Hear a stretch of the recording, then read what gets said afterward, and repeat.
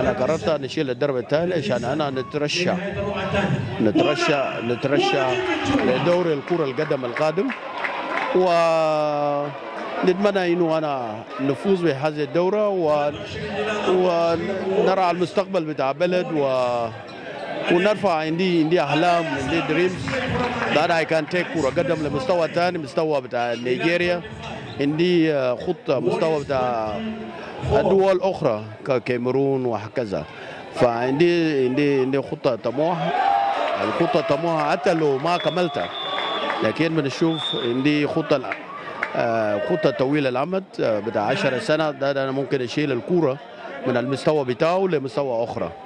آه ودي فضلت انه أنا نمشي آه ندي خدمة للشعب بتاعي وللدولة بتاعي وللرياضة ولمهمين الرياضة في كل جنوب السودان.